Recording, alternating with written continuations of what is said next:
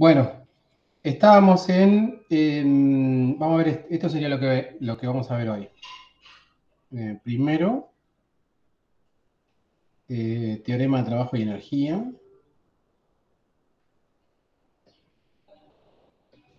¿No? Obviamente relatividad. Segundo, eh, fuerza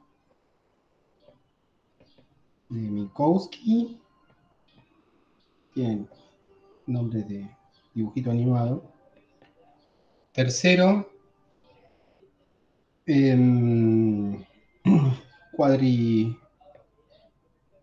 cuadrigradiente. Cuarto, este, el cuad, cuadricorriente.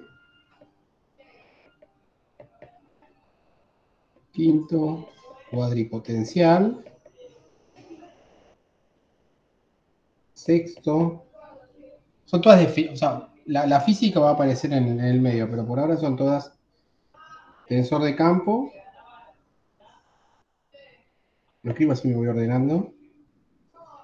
Este, séptimo. Eh, adición de velocidades. No, esto lo vamos a ver primero. Transformación de campos.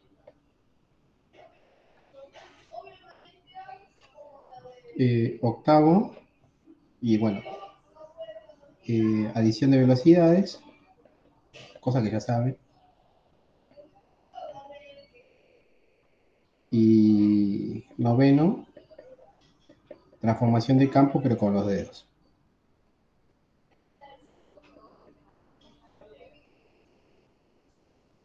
Con los dedos significa eh, usando dilatación del tiempo, contracción de longitudes, ¿sí?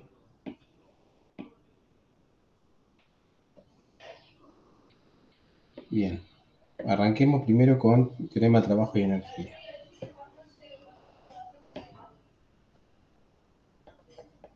Vayan interrumpiendo, ¿eh? Y, vayan fijándose si voy haciendo algún error en la cuenta.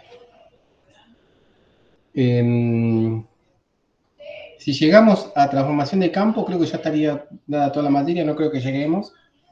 Para completar la parte de transformación de campo, seguramente vamos a usar una clase más o la mitad de una clase más y todo lo demás va a ser práctico. ¿Ok? Em, primero, teorema de trabajo y energía. El teorema de trabajo y energía, ustedes ya saben que es em, a nivel de potencia, podríamos establecerlo de esta manera es igual a fuerza por velocidad. ¿Ok?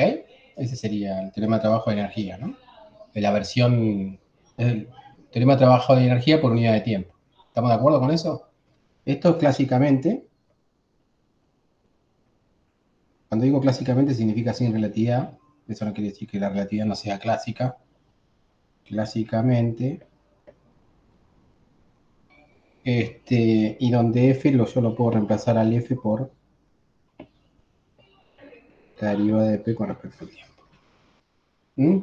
Ahora vamos a ver qué forma toma eso en relatividad. Para ver qué forma toma eso en relatividad, vamos a recordar que el, cuadrimomento, P mu, se podría escribir de esta manera. Este, la primer componente, la componente temporal, es sobre C, y la segunda era el P. El P relativista. Otra forma de escribir esto era así era MC gamma y este, MU gamma. Esa era la forma de... Y habíamos visto que si yo hago la contracción de P consigo mismo, eso me daba M eh, al cuadrado C al cuadrado. ¿Mm? las unidades también. M por C es momento.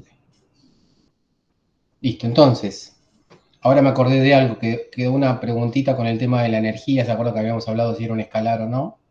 ¿Sí? Eso hay que hablar un poquitito. Este, pero bueno, ahora que estoy enganchado con esto, vamos a seguir esto. Si yo derivo con respecto al tiempo, esa cantidad que es constante me va a dar cero. Estoy en un sistema, ese, sistema tiene el tiempo t, sistema de laboratorio, yo hago esta derivada, eso da cero.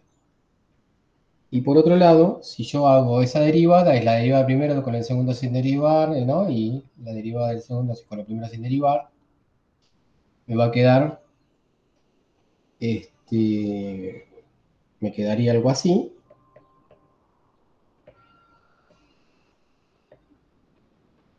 Eh, más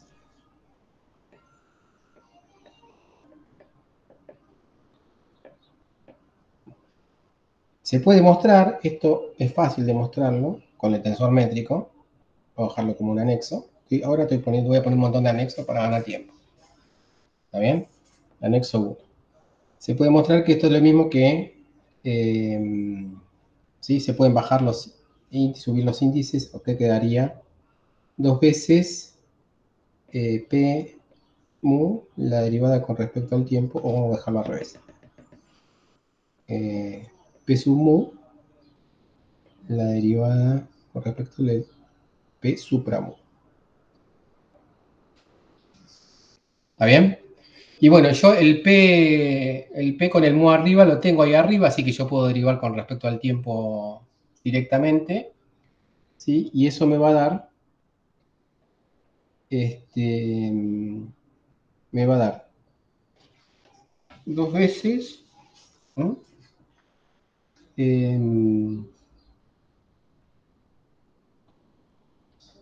una especie de producto escalar raro, puedo pensarlo así,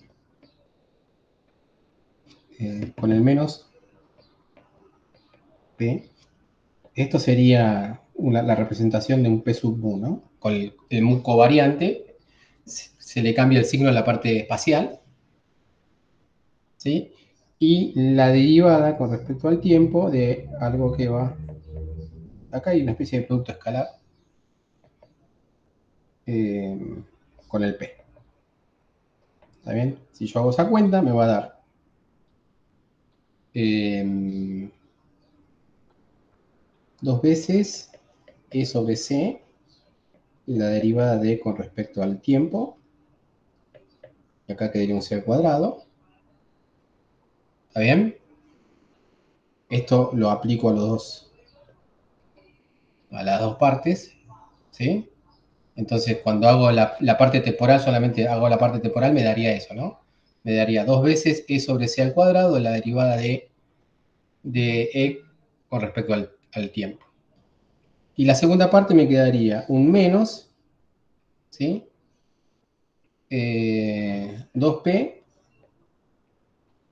producto escalar y la derivada de P con respecto al tiempo. Este es el P relativista. Todo eso debería ser igual a cero porque si lo que dijimos arriba que esto era una constante, la contracción esa. Entonces, cuando lo derivo con respecto, me con respecto al tiempo, me da cero.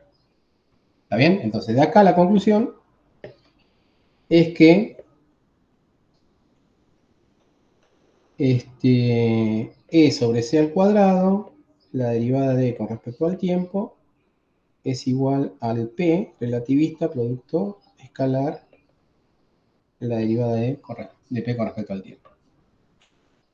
El E, fíjense arriba, era igual, ¿se acuerdan? A mc al cuadrado gamma.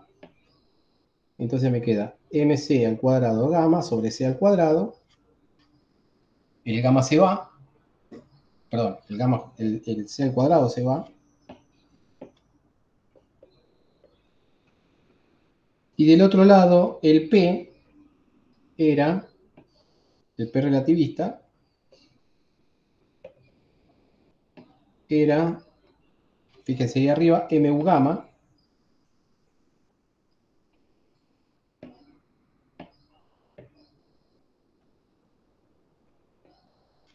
¿no? SU es un vector. Entonces el M y el gamma se van.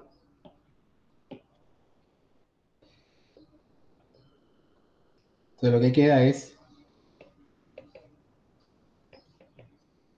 una nueva forma de la, el teorema de trabajo y energía, que es este.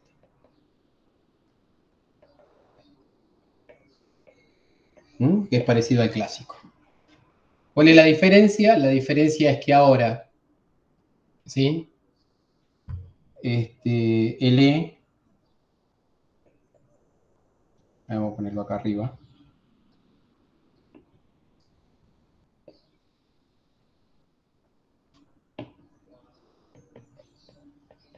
Pero ahora, el E es la energía relativista, que era el mc al cuadrado por gamma. ¿Se acuerdan? Que es lo mismo que mc al cuadrado más la energía cinética relativista. ¿Está bien? Y el P es el P relativista, eh, en vez de ser mu, mu vector, es mu vector por el, factor S gamma de corrección. ¿Está bien? Acá para que la fórmula quede bien, el v este tendría que ser la velocidad u, que es la velocidad de la partícula. ¿Estamos de acuerdo? Eso sería teorema de trabajo y energía en relatividad. Es parecido, pero no es lo mismo. Eh, me perdí, Dani, ¿de dónde salió este menos? ¿El menos este? Sí. Ahí lo pongo en rojo. A ver, voy a hacer el seguimiento. PMU, este, este menos. Sí, ese. Ese menos es porque yo estoy poniendo, fíjate que acá pongo el, cuadrimomento, pero en su forma covariante, ¿no? Cuando vos pones el cuadrimomento en su forma covariante, la parte espacial es con signo negativo. ¿Está bien? Ah, sí. Porque eso venía de que el P sub mu era el G mu nu por el P nu arriba, ¿no?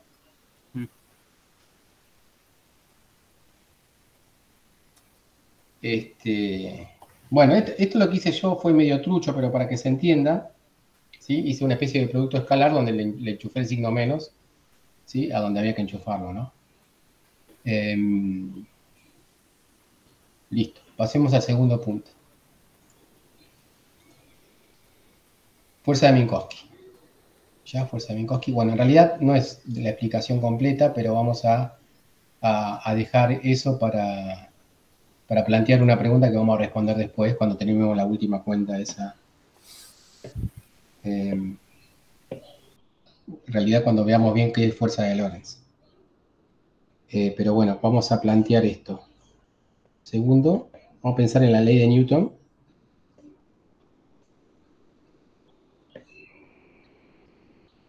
Con la palabra relativista. ¿Cómo sería la ley de Newton relativista? ¿Mm? Si uno piensa en la ley de Newton, la ley de Newton era algo así, fuerza es igual a la derivada de P con respecto al tiempo. Acá del lado derecho era la parte, si quieren, cinemática de la ley de Newton, ¿no? Y esta parte era la parte dinámica de la ley de Newton, ¿sí? Que es, digamos, la fuerza, qué tipo de fuerza estamos manejando, y la parte derecha es masa por aceleración, básicamente, la parte dinámica, cinemática. Este, entonces, para nosotros una forma natural de, extender la idea de lo que es ese, la parte cinemática es pensar ¿sí? en esta derivada, porque estamos usando el tiempo propio, y nosotros sabemos que el tiempo propio es un escalar, ¿sí? Y el P sub mu es un, tensor. Entonces, la extensión natural de, ¿sí? de la ley de Newton desde el punto de vista de la formulación covariante relativista sería plantear la parte cinemática de esa manera. ¿Ok? Por lo tanto, esto, para que quede una, una, ecuación ¿sí? escrita con tensores, esto debiera ser igual a algo así, donde este K es un tensor con todas las letras, ¿sí? Entonces, si yo llego a plantear una ley de Newton de esa manera, esa ley de Newton tiene, está escrita de forma tensorial, entonces valdría para cualquier sistema inercial si es que ese K es realmente un tensor. ¿Ok? Porque ya sé que la parte izquierda es un tensor. Y si es realmente un tensor, encontramos una forma de expresar la ley de Newton, ¿sí? Eh, que tiene la misma forma en cualquier sistema inercial. O sea, si yo me voy a otro sistema inercial y esos son tensores, ustedes ya saben que automáticamente se cumple, ¿sí? Este, se cumple esto, ¿no? O sea, esto sería en un sistema inercial que llamamos S y otro sistema inercial que llamamos S'. ¿Ok? Entonces, la pregunta que vamos a dejar planteado ahora es, ok, este, toda la cuestión esta de, relatividad metida en electro, en electro 2 tiene que ver con que eh, el electromagnetismo desde el punto de vista fundamental, desde el vamos, es una teoría relativista. ¿sí? Aunque eso no se supo desde el principio, eh, es una teoría que desde el vamos ¿sí? es una teoría que cumple relatividad. ¿En qué sentido? En el sentido que si uno agarra las ecuaciones de Maxwell ¿sí? y las escribe en, la estación de tren, ¿sí? uno puede demostrar que este, valen también en el tren, andando a cierta velocidad, desde el punto de vista de lo que es el principio de relatividad de Einstein, no el de Galileo. ¿Ok? O sea, que es la, digamos, es la, digamos, la parte de la física que naturalmente es relativista desde el vamos.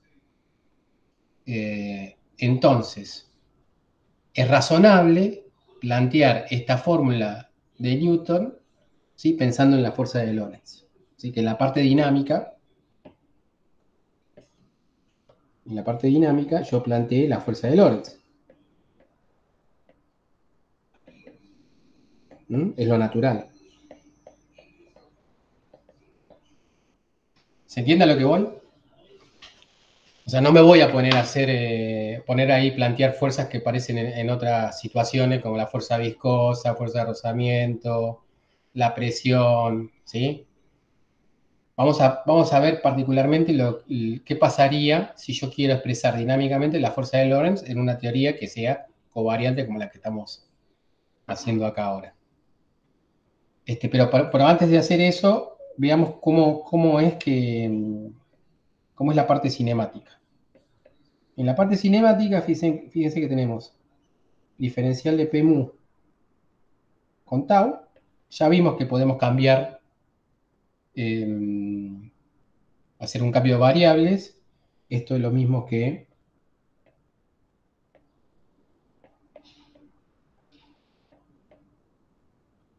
diferencial t. ¿Sí?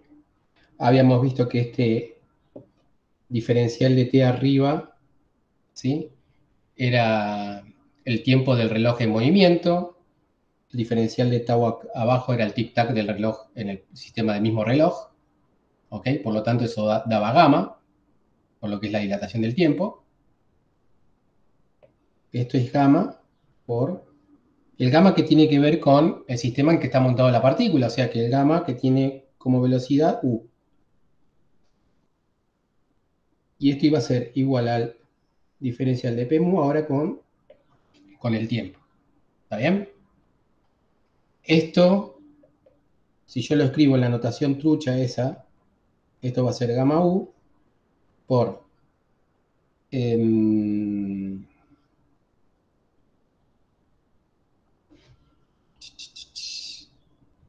acá que iba, o sea, acá iría la derivada con respecto al tiempo de, lo puedo escribir de las dos maneras, eh, ah, sí, lo puedo escribir así, lo puedo escribir como e sobre C, punto y coma, P vector, el P relativista, ¿no? Porque estoy escribiéndolo en su forma contravariante. Hago la derivada con respecto al tiempo, me queda gamma U, 1 sobre C, este, y acá me quedaría la derivada de con respecto al tiempo, punto y coma, ¿Ok? Entonces la gran pregunta es, la pregunta que uno hace es, eh, a partir de lo que nosotros vimos en, ¿sí? en función de lo que es la fuerza de Lorentz. Uy,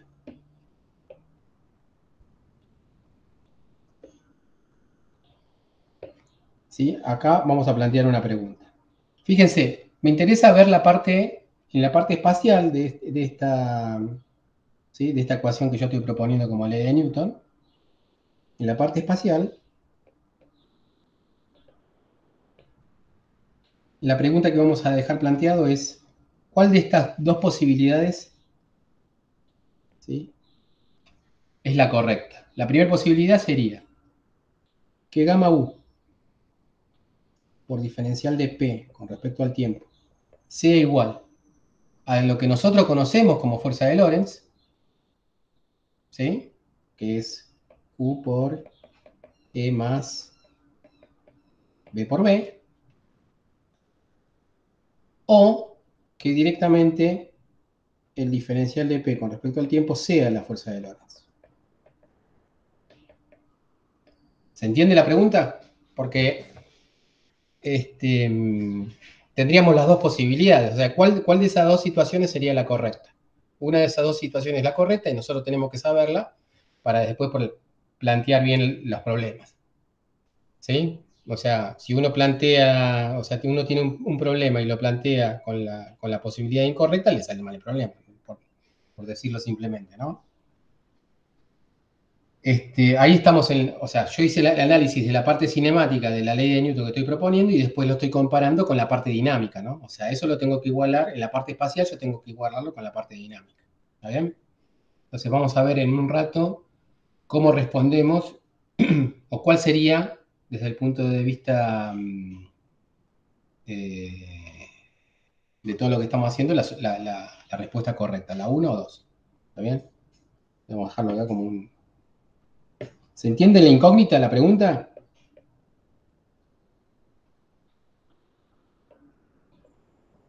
¿Cuál es la corrupta? Uno o dos. ¿Está bien? Bien. Me gusta mucho la participación ahí. Eh, dije que sí, dije que sí. Bueno, está bien. Este, encima que no participan mucho se enojan. Bueno, vayamos al próximo punto. Puse un solo anexo hasta ahora. Cuadrigradiente. Bien. Vamos a ver una cosa que puede confundir. ¿Cómo es un cuadrigradiente? ¿Mm? En principio, vamos a plantear esto. Vamos a plantear que eh, si uno quiere, o sea, uno sabe lo que es un gradiente. Un gradiente, ¿se acuerdan que era? Era algo que iba con esto, ¿no? X o RI, vamos a ponerlo. Mm.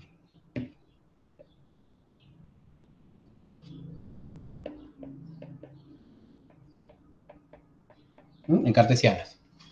¿Está bien? El cuadrigradiente, en principio uno lo definiría así. La derivada con respecto a ct y la derivada con respecto a x con respecto a z. ¿Está bien? Bien, pero definiéndolo así nomás, ¿sí?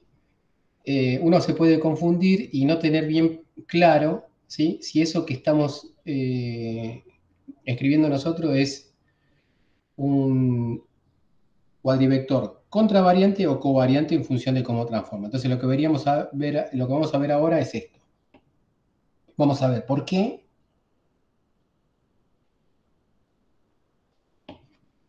eh, siendo que x, acuérdense, x0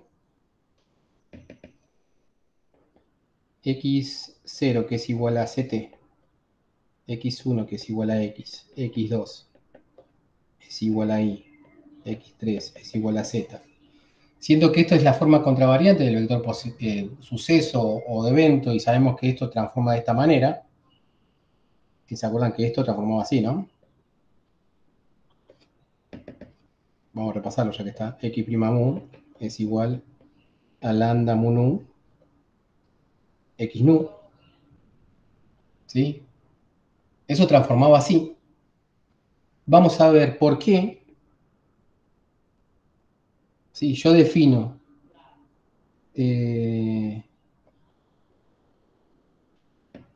si yo defino esto así, la derivada con respecto a ct, la derivada con respecto a x, la derivada con respecto a y,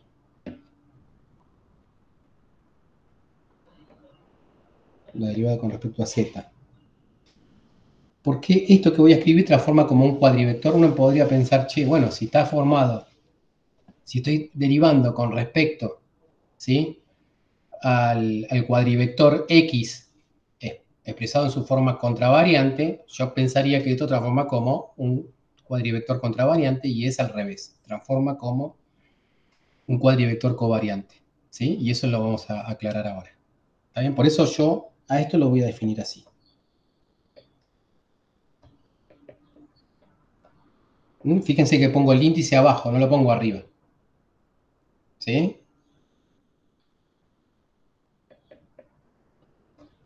¿Por qué pongo el índice arriba? Perdón, ¿por qué pongo el índice abajo? Porque esto transforma de esta manera.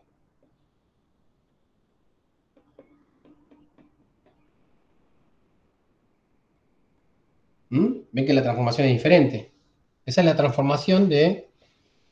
Em, tiene toda la pinta de la transformación de un, cuadrivector en su forma covariante, ¿no? El de la izquierda es una transformación de un cuadrivector en su forma contravariante. ¿Esto lo tienen claro? ¿O hay que repasarlo? ¿Mm? Ahora lo que vamos a hacer es, vamos a mostrar esto. O sea, esto no es que tienen que saberlo. Lo que sí, lo de la izquierda lo tienen que saber. Lo de la derecha, eso lo vamos a ver ahora. ¿Ok? Bueno.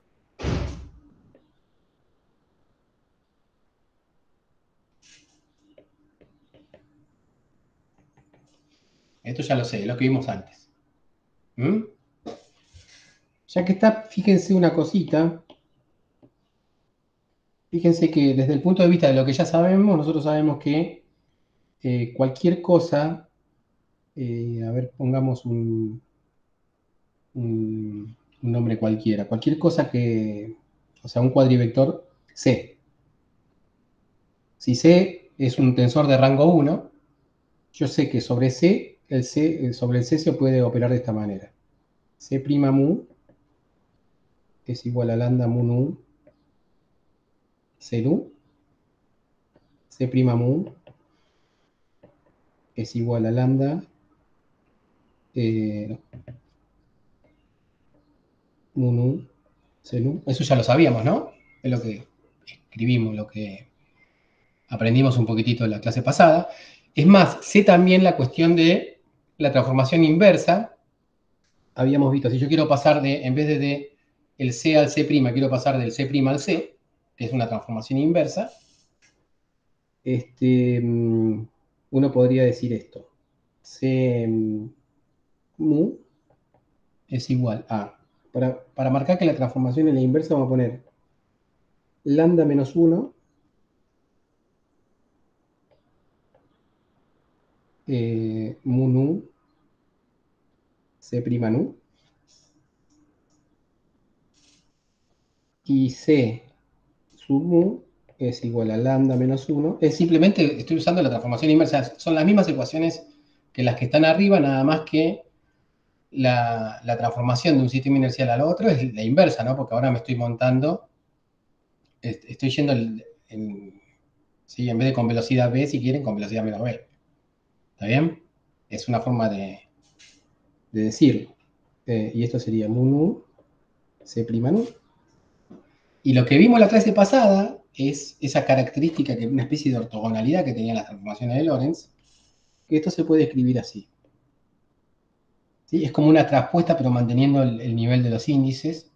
Esto se podría escribir C nu, mu, C prima nu. Y esto es, ven que la estoy en una especie de transposición, estoy haciendo. Esa era la propiedad que cumplían las transformaciones de Lorentz, de la misma manera que las rotaciones cumplían ortogonalidad, entonces el R menos 1, ahora lo voy a poner. Este, esto quedaría así.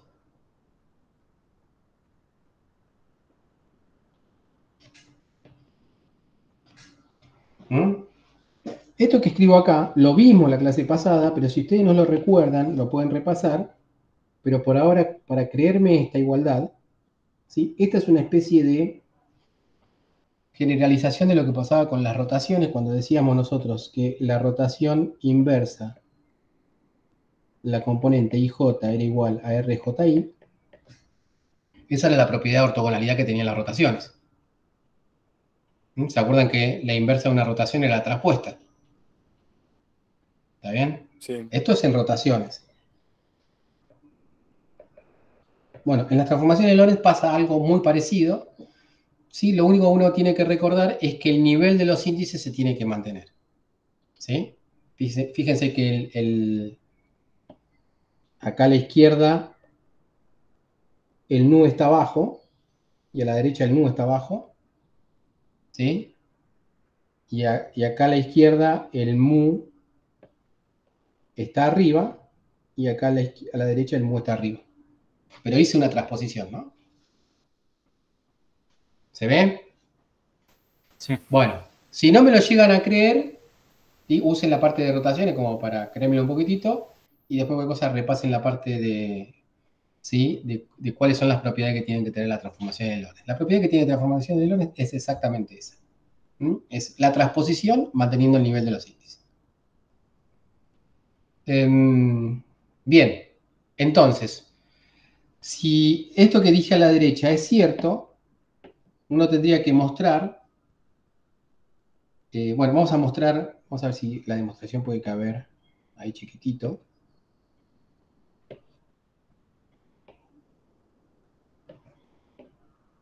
En esa parte. ¿Mm? Para eso lo que vamos a hacer es lo siguiente. Sabemos que x' mu es igual Ah, no, vamos a partir directamente de... a ver, ¿qué me conviene? Eh,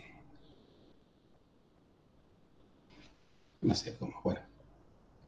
x' mu es igual, por ser cuadrivector contravariante, lambda mu nu x nu. Eso ya lo sabemos.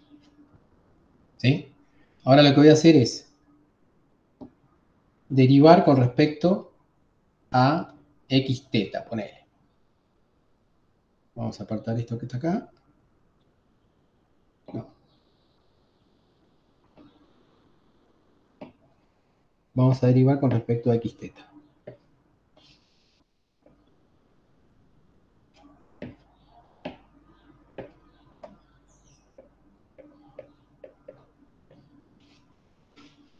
¿Ok? Entonces derivamos con respecto a x teta todo lo que está a la derecha. ¿Sí? Los coeficientes de la transformación de Lorentz son coeficientes constantes, así que eso yo lo puedo tratar como un coeficiente, así que eso lo puedo pasar como una constante.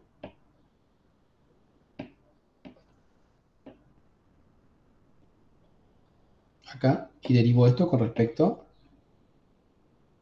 a... Eh, x teta. ¿Ok? ¿Sí? Ahora, esa es la derivada de x nu con respecto a x teta, lo que me va a tirar es una delta de Kronecker, ¿sí? Nu teta. Este, y eso yo lo puedo escribir eh, como delta, y pongámoslo así para que quede claro que, ¿sí? no, no confundirme con si estamos en con el tensor métrico, ¿sí? Lo pongo así para hacerlo más sencillo. Esto sería nu teta. ¿Está bien? Una delta de Kronecker nu teta. ¿Sí? Esa sumatoria que hay sobre nu se colapsa y donde dice nu se convierte en teta. ¿Mm? Entonces lo que se obtiene acá es que la derivada de x' mu con respecto a x teta es igual a mu teta. ¿Está bien? ¿Mm? Sí. Sí. Bien. Entonces, yo lo que quiero ver es... em, ujú.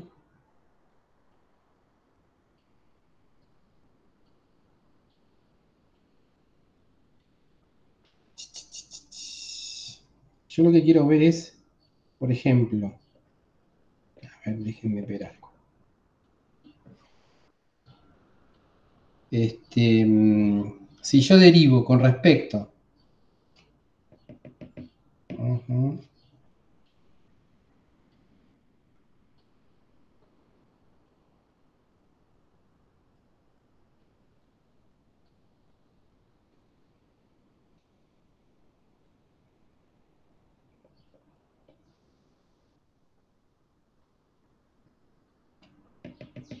Si yo no quiero usar la notación, este, yo lo que quiero ver es precisamente em, bueno, lo voy a hacer así quizás. Si yo hago la derivada con respecto a x' de mu, ¿sí? De cualquier cosa, ¿sí? Si yo uso la regla de la cadena, si me llegan a preguntar por qué puedo usar la regla de la cadena, es porque está claro que eh, si yo tengo los sucesos descritos de un sistema inercial y- o tengo los sis- el suceso descrito desde otro sistema inercial, la conexión entre esos dos está dada por la transformación de Lorentz. Yo puedo pensar que cualquier función de un evento puede ser descrito, ¿no? Eh, usando las coordenadas que uno quiera, ¿sí? Nada más que esos, hay un cambio de variable ahí y ese cambio de variable está dado por la transformación de Lorentz. Entonces, si yo quiero, por ejemplo, hacer esta operación, yo puedo pensar en que esta operación es la derivada de x, ¿sí? Nu, la derivada con respecto a x', mu, ¿sí? Y derivar con respecto a x nu. ¿Se entiende eso? Eso es simplemente la regla de la cadena, ¿sí? Estaba derivando primero con respecto a las variables primadas, ahora estoy eh, derivando con re- respecto a las variables sin primar. ¿Está? ¿Sí? Sí. Y también puedo hacerlo al revés. Pero bueno, a ver, em, justamente esta es la que no me sirve porque la que tengo arriba, ¿sí? Es la otra. Este, em, a ver.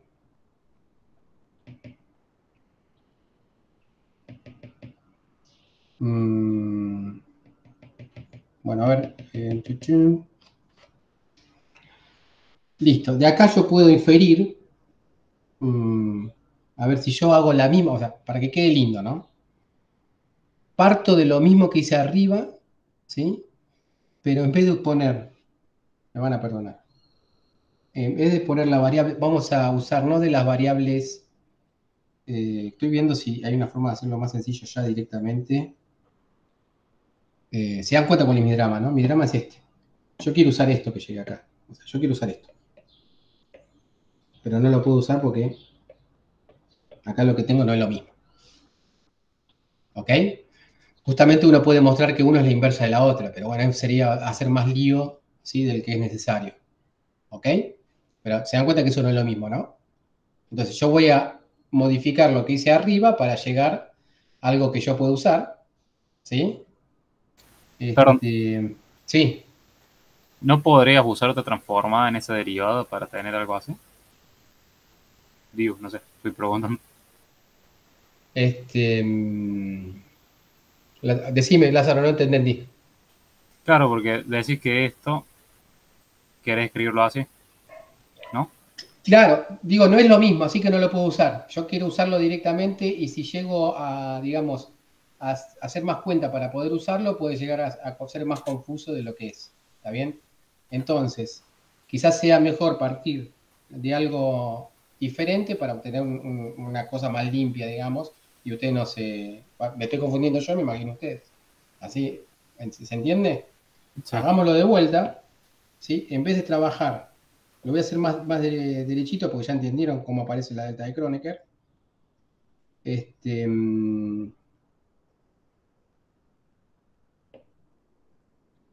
obviamente quizás hay alguna forma más simple, pero fíjense, en vez de usar la, la transformación, vamos a usar la transformación in- inversa directamente, por lo que yo les comenté, ya eso queda más o menos claro, esto sería x mu, ¿sí? Es igual a lambda, y acá pongo el mu nu cruzado, ¿sí? O sea, hago la especie de esa transposición, ¿sí? Mu nu, lo escribo así, por x prima nu. ¿Estamos de acuerdo que ahí usé la transformación inversa? Por eso estoy usando esa, esa lambda, entre comillas, traspuesta, ¿no? ¿Sí? Sí, Bien. Entonces, si yo hago la derivada de x mu con respecto a x prima nu, o x prima teta, habíamos dicho, eso va a ser igual a lambda, ¿sí? El nu colapsa en teta, entonces me queda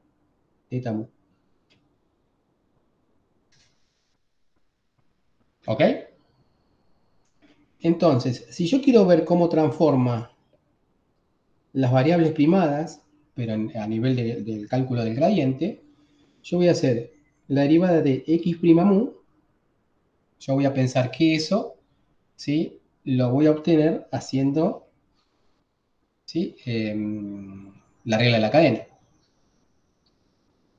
Eso va a ser la derivada de x nu con respecto a x'. em, mu estoy derivando algo, ¿no? Lo que sea que esté derivando, no importa. Lo importante es ver cómo, ¿sí? cómo transforma esto. ¿Eso me lo creen? Está claro que esa es la regla de la cadena y una suma implícita sobre nu, porque son todas las variables que hay. ¿Sí? Derivé con respecto a las variables primadas primero, termino derivando con respecto a las variables sin primar y me sale un factor que tiene que ver con la regla de la cadena.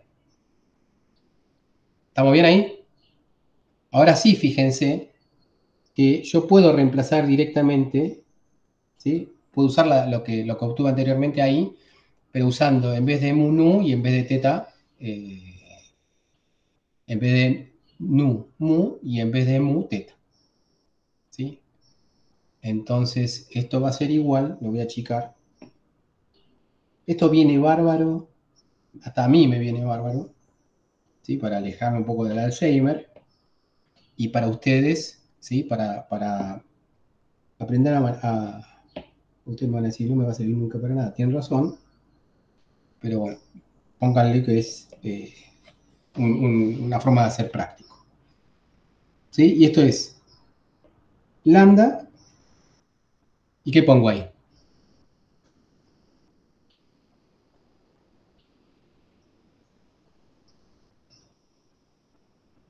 ¿Ok? Teta abajo, mu abajo, ¿sí? Y esto va a ser la derivada con respecto a x nu. ¿Está bien? Entonces, fíjense cómo transforma esto. ¿Sí? Esto transforma cualquier, fíjense la, fíjense lo que está acá. A ver, pongámoslo en celestito. Este. Fíjense esto que estoy mo- mostrando la, a la izquierda. ¿Sí? Eso es cómo transforma, no, perdón, este. ¿Sí? Fíjense cómo transforma un, un vector contra eh, covariante. ¿Sí? Transforma así. C' mu es igual a lambda mu nu. ¿Está bien? C nu. Ven que la forma en que- que transforma ese, ese cuadrigradiente no es de manera contravariante, sino covariante. ¿Está bien? Es por eso que uno, ¿sí?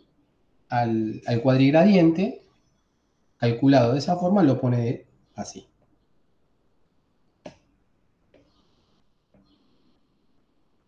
¿Se entiende? Eso es lo que a nosotros nos habilita para poner, en vez de poner el índice arriba, lo pongamos abajo, porque transforma de esa manera. ¿Está bien? Entonces, si ya sabemos que transforma de esa manera, ¿sí? le ponemos el, índice eh, abajo y ya estamos seguros de que es un tensor con todas las, las reglas que tiene que cumplir un tensor. ¿sí? O sea, si uno quiere derivar ¿sí? en otro sistema inercial, ¿sí? tiene que acordarse de que esto opera de, forma diferente a los vectores. ¿sí? Los cuadrigradientes operan justo al revés. ¿Se entiende? Sí, dentro de todo. ¿Mm? Sí, me cuesta un toque, pero sí. Es esta la clave.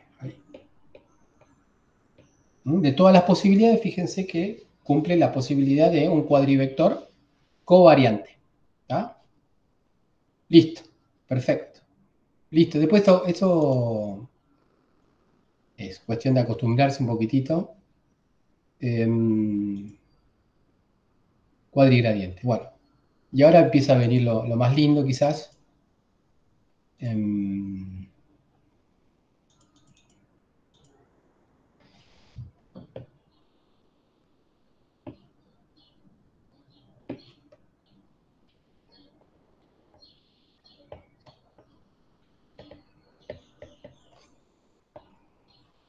Y ahora vamos a usar un, truco, porque si no habría que hacer muchas cuentas. ¿sí? El truco que vamos a usar es lo siguiente. Este, si nosotros tenemos que, eh, tenemos, ponerle, a ver, el razonamiento habitual es el siguiente. Si uno tiene dos tensores de rango 1, si A es un tensor de rango 1,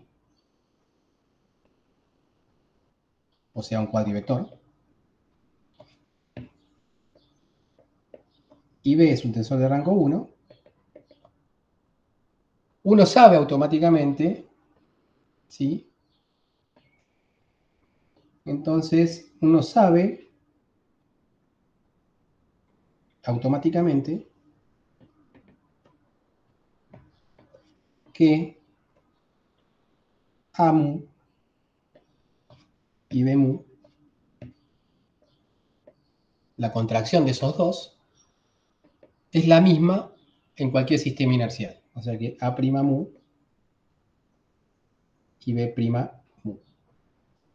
¿Está bien? Es por eso que le decimos a esa cantidad un escalar o un 4 escalar. Y ahora me estoy acordando de esa pregunta que quedó colgada. Esto es un 4 escalar. ¿Está bien? Este, es lo mismo que pasaba de vuelta. Si, si se pierde un poquitito piensa a nivel de rotación, ¿no? Si uno era el, módulo al cuadrado de un vector en el sistema sin rotar, era igual al módulo cuadrado de el mismo vector en el sistema rotado, ¿sí? Y eso lo llamamos escalar, ¿sí? Era el mismo valor.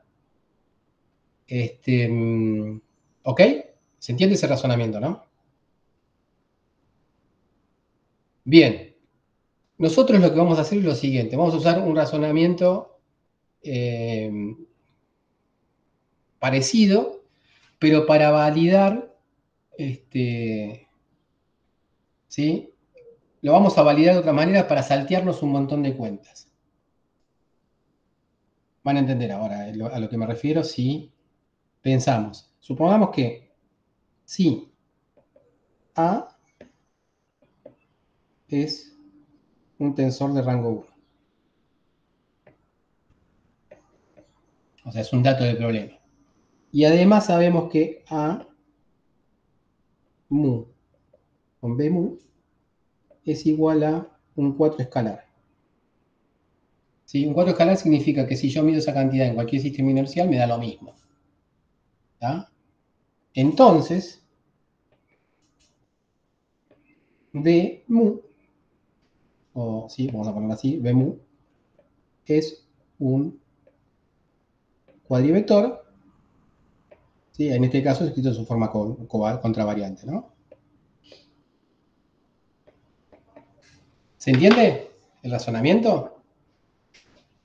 Este, mm, ¿Mm? Lo el primer razonamiento es el que estábamos usando recién. Si uno, uno escribe las cosas en tensores, lo bueno es escribir con las cosas en tensores y que se pueden formar con contracciones, tensores de rango menor o con productos externos que se llaman tensores de rango mayor, ¿sí? Pero nosotros estamos con la parte de, de contracción, que es sumar sobre el índice, de esa manera, ¿sí? Y eso forma un escalar. ¿Está bien? En vez de usar ese razonamiento, lo que yo les propongo como razonamiento es, supongamos que una de las dos cantidades esas, uno de esos dos letras es un tensor, el otro no sabemos, pero además sabemos que si yo contraigo de esa manera, lo que me da es algo que vale igual en cualquier sistema inercial. ¿Sí? Esto que yo estoy eh, haciendo tiene su, o sea, uno, puede probar eso. ¿eh? O sea, fíjense, eh, pero bueno, pero se entiende a lo que, lo, que quiero significar, ¿no? El, esquema de razonamiento lo voy a cambiar un poquitito para no hacer tanto cuenta y va a ser el segundo. ¿sí? En todo caso, para mostrar que esto es cierto, uno tendría que mostrarlo en un anexo que vamos a llamar anexo 2.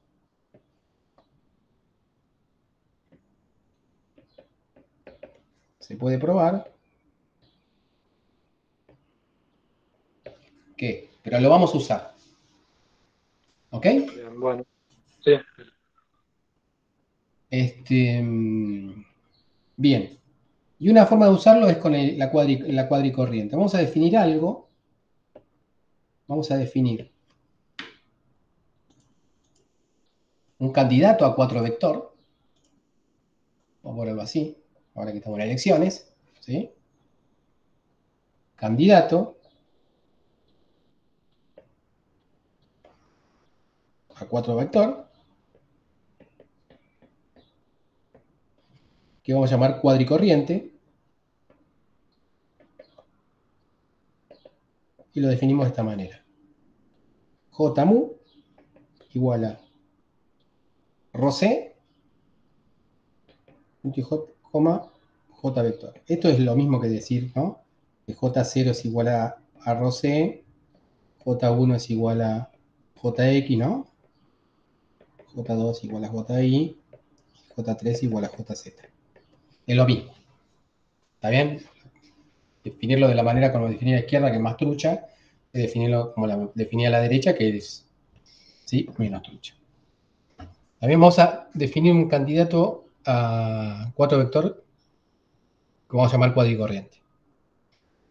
Estaría bueno entonces encontrar ¿sí? una tal que multiplicado, ¿no?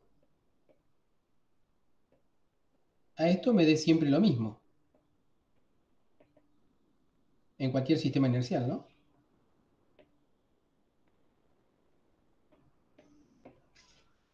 Porque si yo encuentro un, un cuadrivector que me dé siempre lo mismo en cualquier sistema inercial, automáticamente JMU categoriza como un tensor de rango 1. ¿Se entiende lo que digo? ¿Sí? Sí. Bueno, resulta que el candidato natural para esto es el, operador que nos armamos recién. Y acá lo puedo usar el primer índice arriba o el otro abajo o al revés. Lo voy a usar al revés, me quedaría así. Veamos qué da esto. Esto lo que me da es eh, la derivada de 0J0, la derivada de 1J1, ¿no? Derivada de 2J2, derivada de 3J3. La derivada de 0 es la derivada con respecto a CT.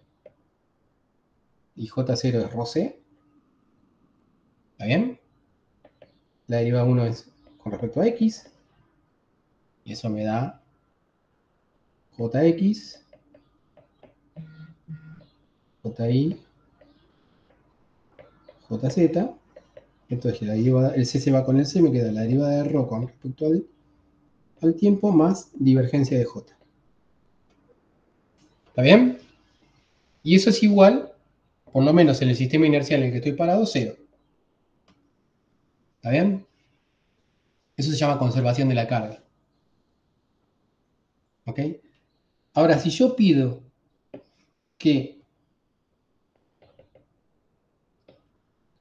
la derivada prima con respecto a t prima, ¿sí? Con respecto a esto podríamos llamarlo así. Si yo pido, o sea, pido algo que está recontraprobado, que es la conservación de la carga en otros sistemas inerciales, ¿sí? Estoy justificando desde un punto de vista experimental, si quieren, ¿sí? Que el JMU es un, eh, un tensor de rango 1, un cuadrivector. ¿Se entiende la idea? Entonces yo lo que puedo poner acá lo voy a hacer más directo. Ahora,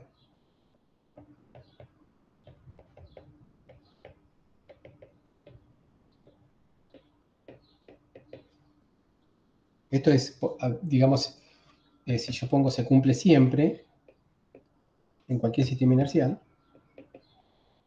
y vale cero, ¿no?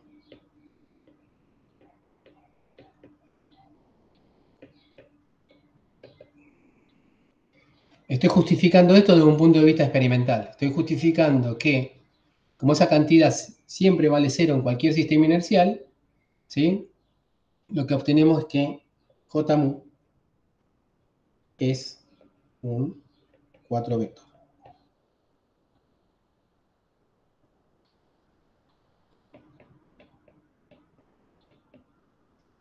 ¿Ok? ¿Se entendió el razonamiento? ¿Por qué Claro. hago este razonamiento? A ver, ¿de qué me, demo que me decías? No, fue abrió. No, no, dije.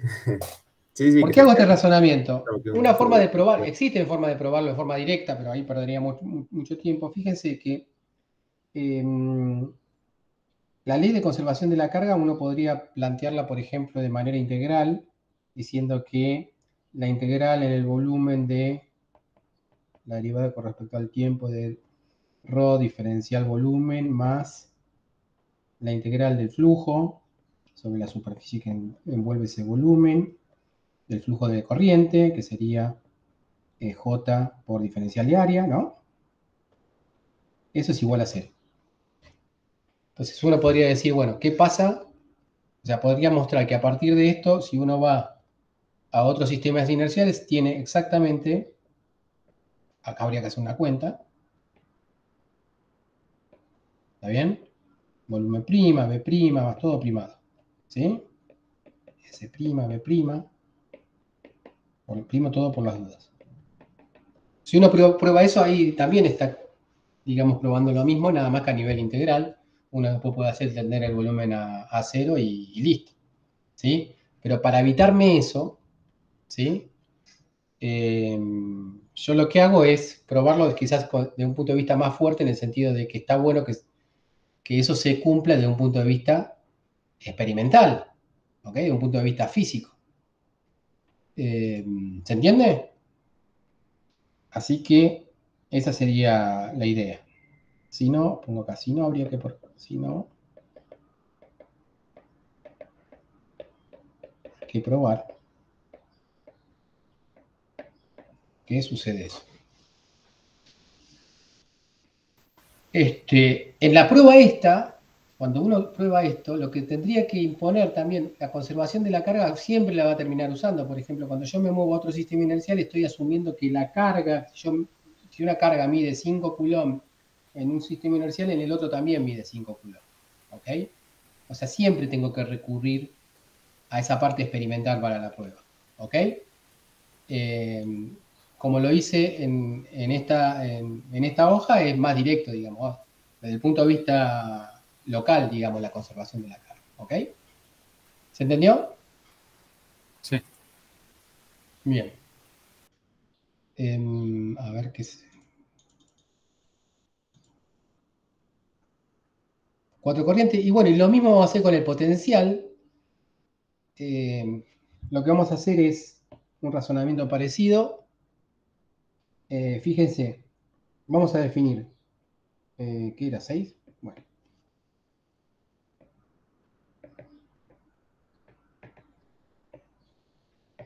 Vamos a definir un AMU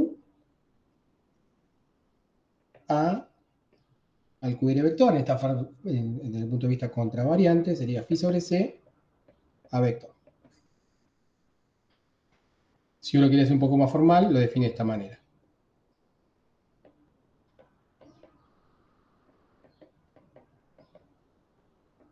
El phi es el potencial el escalar. Antes lo había puesto B, ahora se pone phi, porque para que quede como en el, en el Griffith. Esto sería AX y este es el potencial vector. ¿Ok? Lo mismo. Entonces, estaría bueno mostrar que esto vale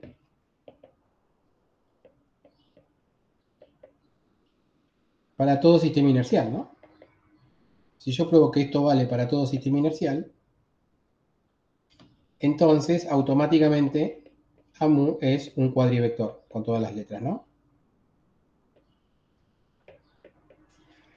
Pero en realidad, en vez de, en vez de, mm, en vez de mostrar que eso vale en cualquier sistema inercial, nosotros lo que hacemos es pedir que valga en cualquier sistema inercial. Porque lo que, porque lo que significa esta cantidad, veamos qué es eso. Fíjense lo que es. Si yo hago la cuenta esta, eh, a esto yo lo puedo hacer como un producto escalar trucho, que sería la derivada con respecto a ct, punto y coma. Eh, ¿Se acuerdan que esto quedaba con el signo más en su forma covariante porque era precisamente un gradiente? Acá queda el operador gradiente. Este, ¿sí? Y esto es, el A0 es phi sobre C, dijimos, y acá va el vector A. Esto es igual a 1 sobre C al cuadrado, la derivada de phi con respecto al tiempo, más la divergencia de A. ¿Sí? ¿Se, acu- se acuerdan que era eso? Si yo lo igualo a cero. ¿Mm? Vamos, vamos, uno, a ver. Era El, el de ah, no. Sí.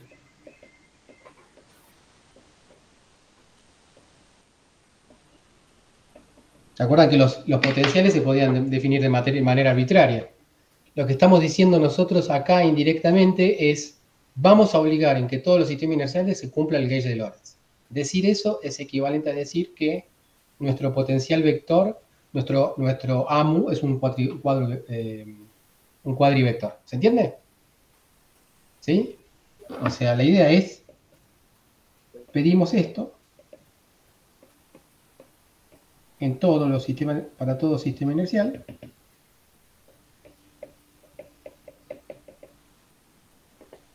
Entonces, automáticamente,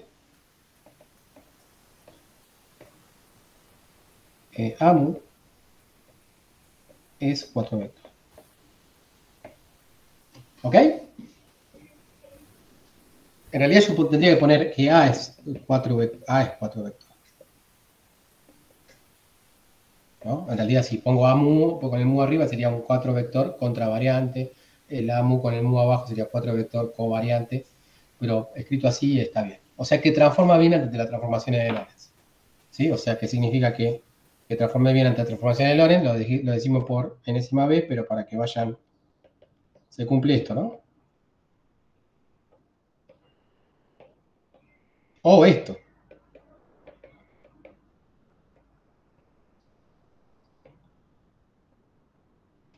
¿Ok?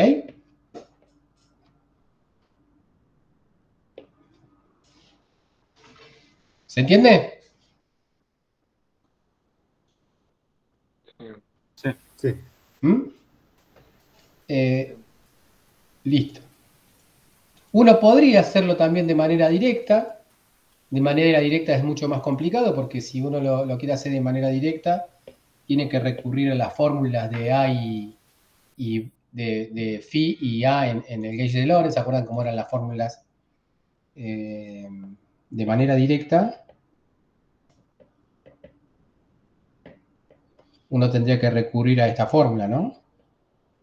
Pi es igual a 1 sobre 4 pi epsilon 0, la integral de ρ, evaluada en R' en un tiempo de retardo. ¿Está bien?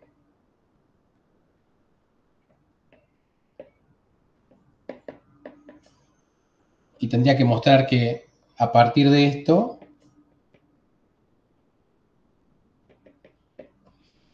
acá era el J,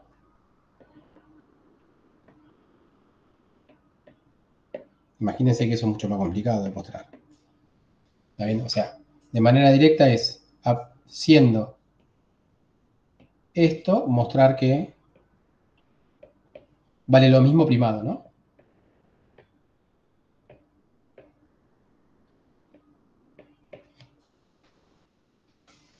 Este, bien. No lo vamos a hacer así, es mucho más simple quizás pensarlo desde el punto de vista de la exigencia del gauge eh, de Lorentz. Obviamente, si uno lo muestra así, automáticamente se cumple el gauge de Lorentz en los otros sistemas inerciales también. ¿Ok? Bien. Vamos a ver qué, qué sigue. Tensor de campo. Bueno, y ahora empieza eh, quizás la parte más importante, la que, o sea, hicimos todo esto en realidad para empezar a ver qué pasa con los campos eléctrico magnético. Este,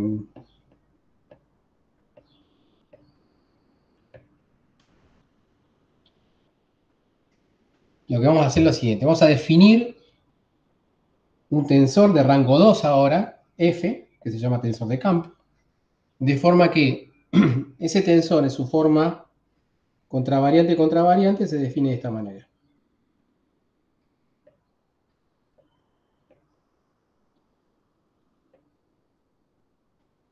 ¿Ok? Es una definición. Siendo definición, ¿sí? o sea, es un tensor, fíjense que es un tensor de rango 2 construido con tensores que ya sabemos que son tensores de rango 1. ¿sí? Eso, eso automáticamente es un tensor. ¿Ok? Y se puede probar. Automáticamente F es un tensor.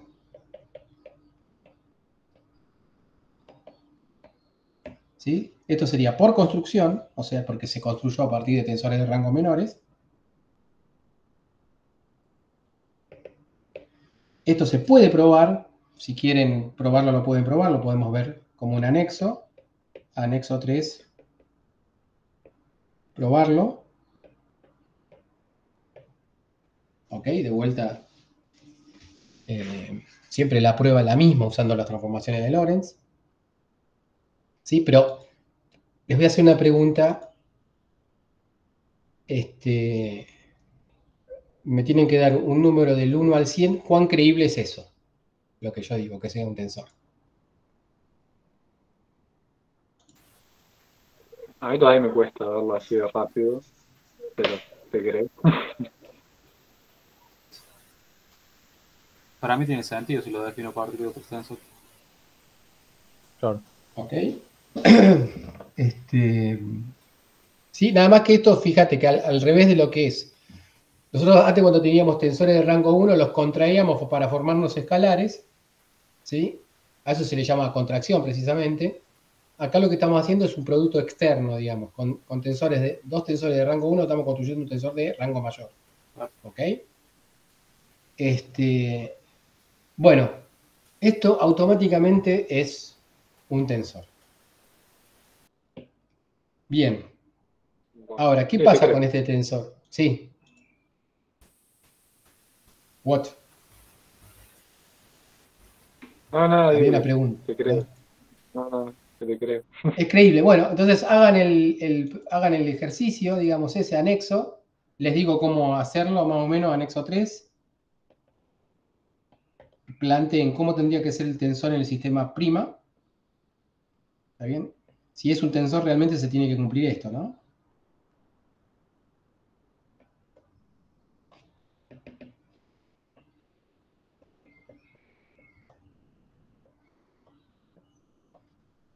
Eh, no. A ver, lo voy a poner bien. Alfa lambda.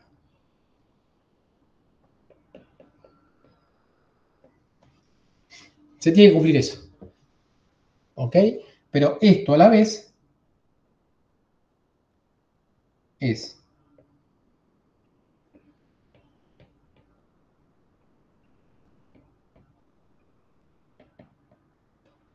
¿Está bien? Y esto a la vez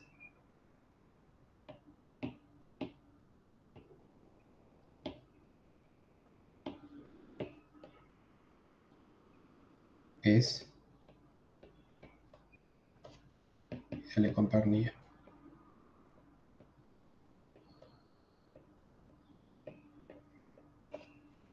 ¿Ok? Este, y, van a ver qué sale. ¿Mm? Acuérdense que esto que está acá, por ejemplo, este que está acá,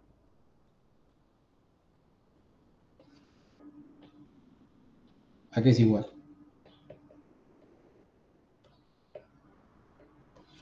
¿Ok? ¿Sí? Y pueden jugar con todo eso. Esto ya lo saben, esto es un hecho. ¿Está bien? Lo que no es, un hecho en principio es esto. Pero van a ver que después todas las matrices de, transformación de Lorentz empiezan a, o sea, aparecer eh, las inversas, se empiezan a cancelar entre sí, de la misma manera que pasaba con las rotaciones, ¿no? Cuando uno creaba tensores de, de rango mayor, ¿sí? Este, y se va demostrando de esa manera. ¿Ok? O sea, si uno va reemplazando todo lo que sabe, ¿sí? Le, va a quedar. ¿Ok? Uno tendría que reemplazar, o sea, reemplazar cuatro transformaciones Lorentz en la variable primada, si quieren verlo de alguna manera. ¿Mm? A ver, voy a hacer un poquitito más. Eh, a ver, para esta parte nada más.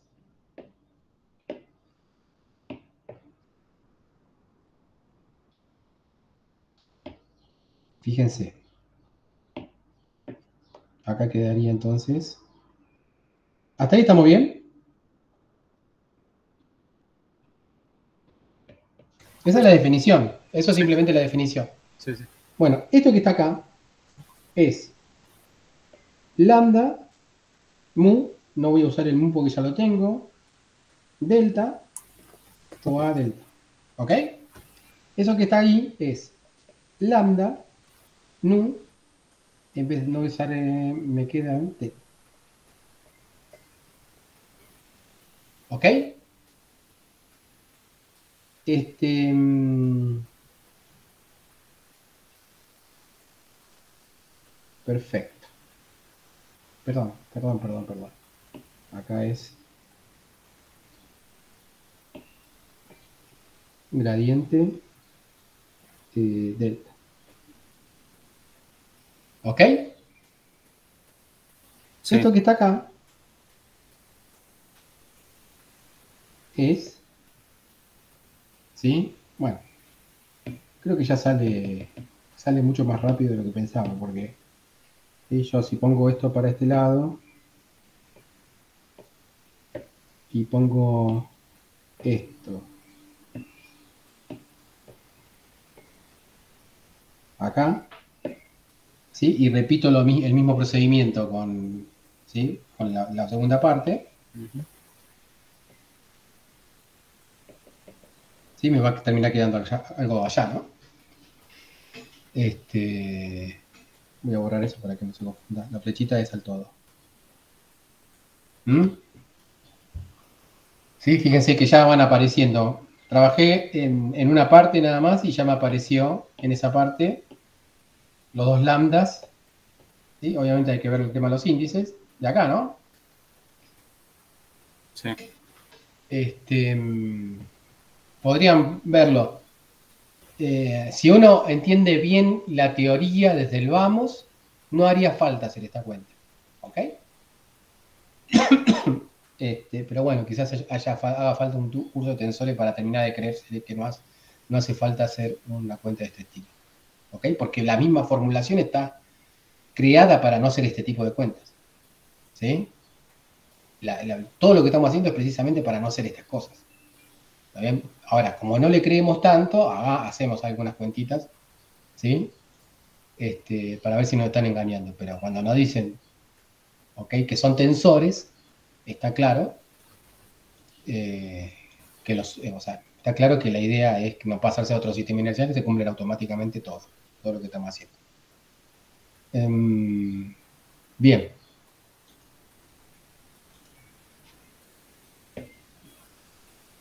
Mm, bien, veamos un poquitito qué es esto del, te- del tensor de campos. Em, ¿Qué es el tensor de campos? Primero, em,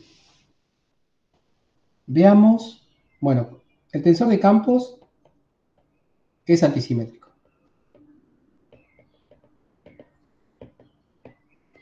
O sea que los, los elementos diagonales de F mu, nu, escrito en su forma contravariante contravariante, es 0, 0, 0, 0.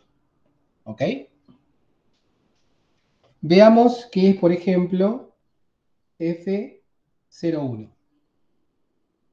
F01, ¿sí? con el 0 y el 1 arriba, es la derivada de 0 a 1 menos la derivada de 1 a 0.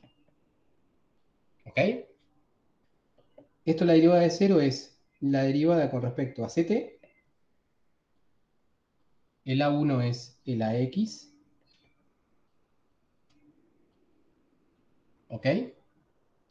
Y menos la derivada 1 con el 1 arriba.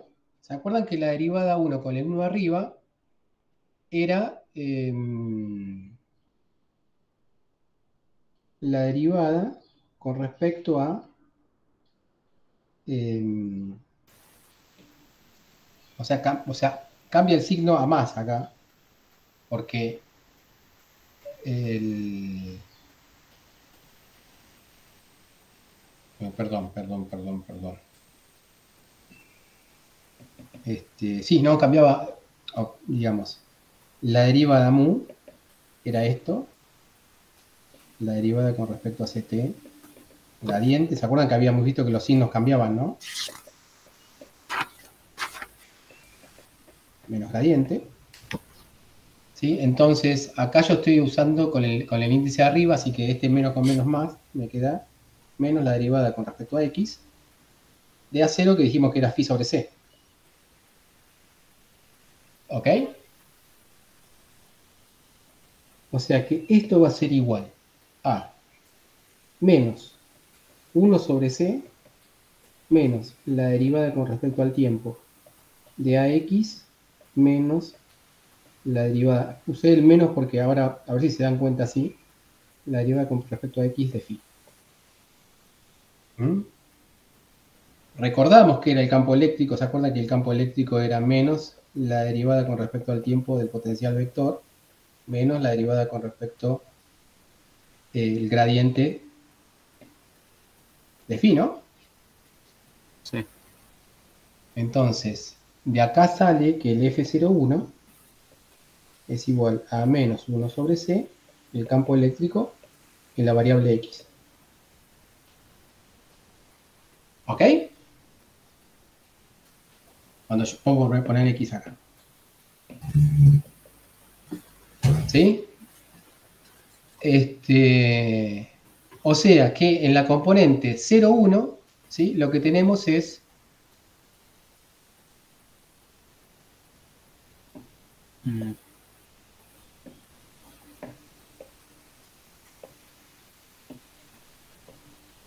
Si ustedes ven el Griffith no va a dar lo mismo, pero es porque estoy usando otro tensor métrico, el mismo, tensor métrico que el Griffith no estoy usando yo, para complicarle más la vida. ¿Sí? Este, entonces acá lo que nos quedaría en el F01, que es lo que va a- arriba, nos quedaría menos, ¿sí? X sobre C. ¿Mm? Lo voy a poner más grande así no,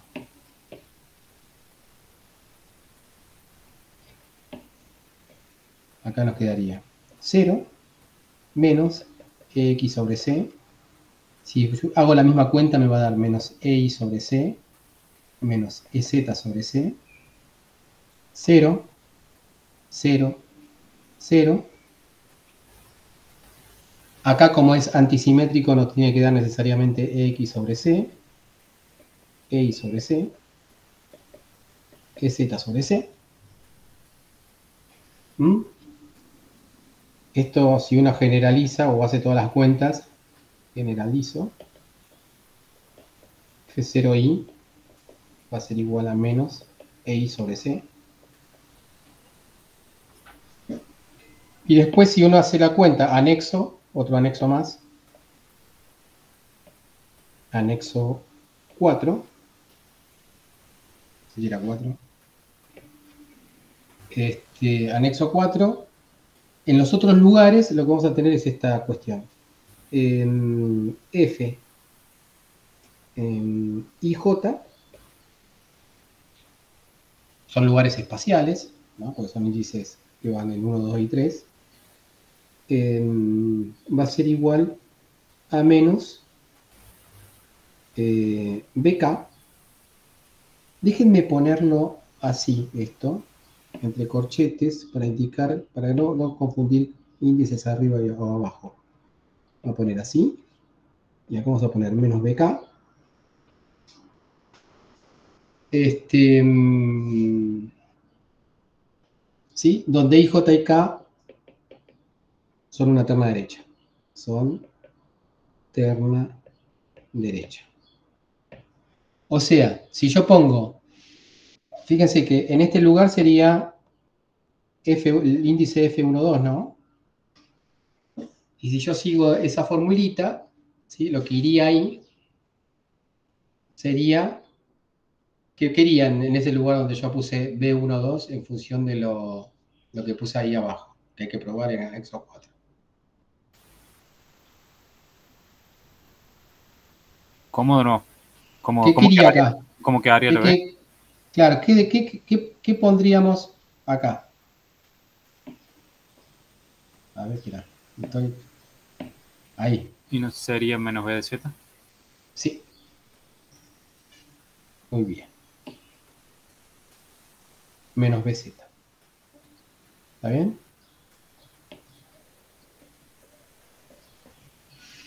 ¿No? Este, acá quedaría BX. ¿Sí? Porque ese sería, ese sería el lugar eh, 1-3, que no es cíclico, entonces quedaría 3-1. ¿sí? Este, o sea, se anularía el signo menos, me quedaría BX. Este lugar 2-3, el de abajo, ¿qué iría acá? Em, entonces sería el lugar 2-3, ¿no? Menos BI. Bueno, después usando la antisimetría quedaría esto. Por eso se le llama tensor de campos, ¿no? Este.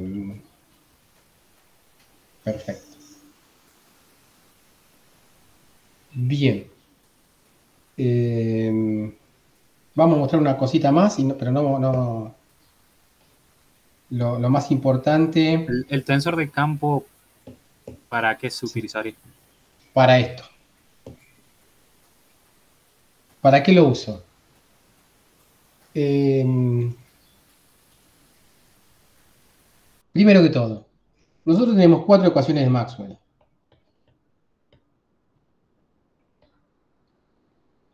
¿Sí? Que en realidad son, eh, son, si uno analiza que dos ecuaciones son vectoriales y dos ecuaciones son escalares, ¿sí? Tenemos eh, 3, 3, 6, 8 ecuaciones, ¿no?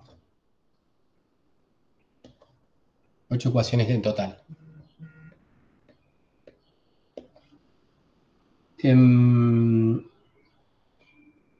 ¿Se acuerdan cómo se construyen los potenciales escalares? Los potenciales escalares y vector, phi y a, ¿sí? Se construyen a partir de hacer cumplir la ecuación de la ley de Faraday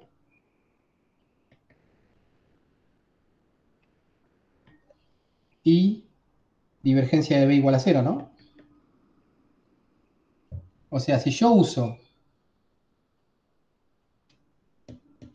vamos a ponerlo así, si yo uso potenciales escalares, si uso potenciales escalares y vector, ¿no? Circuitos potenciales en general, estas ecuaciones se cumplen automáticamente. ¿Estamos de acuerdo? Porque esos potenciales se construyeron para satisfacer esas ecuaciones.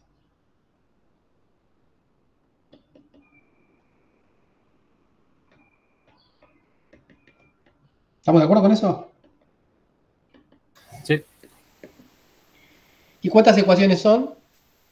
Eh, estos son una vectorial y otra escalar, o son cuatro ecuaciones. ¿Ok? Me quedan por cumplir cuatro ecuaciones. Bueno, esas cuatro ecuaciones resultan ser las siguientes. Las que se llaman, estas serían las, estas serían las que, las que cumplimos se les llama homogéneas, ¿no? Porque se igualan a cero.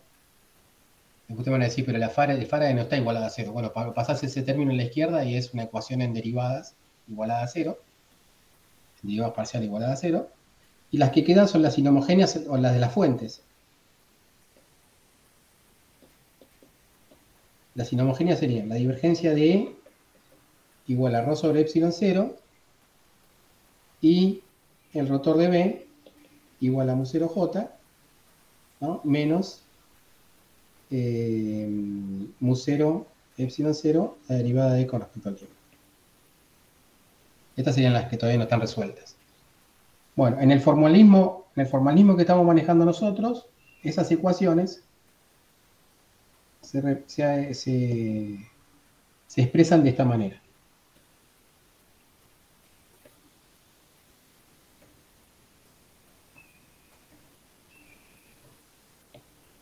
¿Está bien? Entonces, anexo 5, uno tendría que mostrar eso. Mostrar que cada una de esas cuatro ecuaciones que quedan por mostrar están expresadas en esa ecuación. Eh, mostrarla. ¿Mm? Yo sé que le estoy arruinando el fin de semana, pero esa es la idea. Pero lo más importante, lo más importante, fíjense que esta ecuación que está acá está descrita de manera tensorial.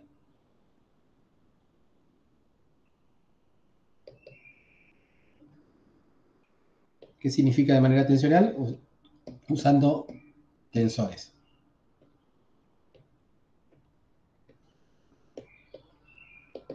Esto automáticamente nos garantiza que esas ecuaciones de Maxwell se, cumplen en cualquier sistema inercial. ¿Ok?